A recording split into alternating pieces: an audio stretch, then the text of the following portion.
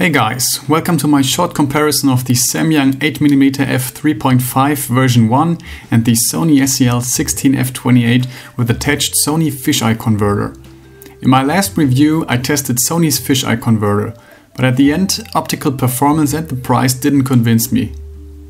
That is why I bought a used Samyang 8mm 3.5 fisheye lens in top condition and the best thing, I only paid 100 euros for it plus 12 bucks for an EOS to NEX adapter.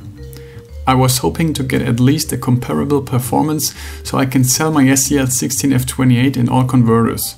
Maybe it could be even better than the Sony lens. Let's see. Obviously, there's a good reason why Samyang also offers a smaller 8mm f2.8 for mirrorless cameras. This 8mm f3.5 DSLR lens is huge and heavy compared to the fisheye converter. The lens hood isn't detachable, but there's a newer version that includes this feature. But Sony's converter also has a fixed lens hood, so in that point there's no difference. The Sony converter has a reduction factor of 0.62, which gives you a field of view of 10mm on an APS-C camera. Like most Samyang lenses, this one is a manual lens with a clicking aperture. What I really liked about Sony's fisheye converter was the fact that it reduces your minimal focus distance so you can get really close to small objects. The Samyang 8mm really disappoints me in that matter. 0.3 meters is actually a common minimal focus distance, but with a focal length of only 8 millimeters, 0.3 meters is a very long distance. So let's compare both lenses in terms of picture quality. On the left the Samyang, on the right the Sony, both always at f5.6. So let's take a look at the bike. Mm, this looks like the uh, Sony converter is a bit sharper.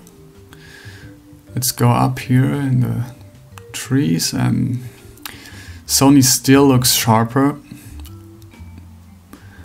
Um, yeah, this is the extreme corners. We have we have chromatic aberrations on the Samyang, but the Sony is also very soft. Let's look on the left side, the middle. Hardly, I can tell there's, they're pretty much the same. Looking to the left side, yeah, again looks very similar to me.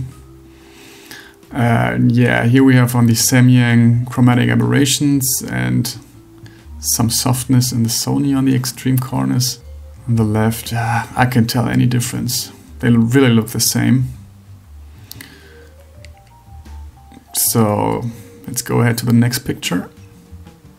Alright, let's crop into 100%. Looking in the middle, I don't know. They look the same to me. Maybe a bit more detail on the Samyang here on the left trees. Uh, definitely a bit more detail, but not too much. Um, yeah, okay. Detail is still a bit more on the Samyang, but not a huge difference. And yeah, chromatic aberrations on the Samyang and corner softness in the extreme corners on the Sony.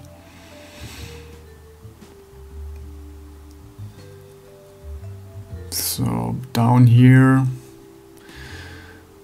look pretty much the same on the left and right corner. Yeah, on this one the Sony looks a bit sharper. And up in the trees the Sony looks a bit sharper and has less chromatic aberrations. But all in all, I think, oh yeah, definitely some hard chromatic aberrations on the Samyang.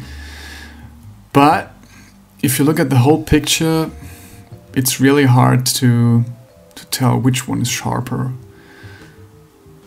If you look here, this looks a bit sharper, so really hard to tell almost the same. Now, what do I think about the Samyang 8mm f3.5? Well, if you can get a used one for 100 bucks like me and you want to take your first fisheye photos in your life, go get it. If you already own the Sony fisheye converter like I do, the 8mm f3.5 is no real upgrade. I mainly use my camera for video work. The 8mm is way too heavy to attach it to any action cam gear. But that was the initial reason I bought my Sony fisheye converter. Recently, I watched a positive review on a cheap GoPro killer under 100 bucks. I think I will sell my fisheye lenses and get the cheap action cam instead. It's more versatile for video work and you can easily use it underwater. But nonetheless, I will leave you with some test shots of the Samyang 8mm f3.5 I took while exploring the French Vosges. At the end of each clip I added some LUTs so you can see what's possible with that lens in post-production. Take care everybody! Fingers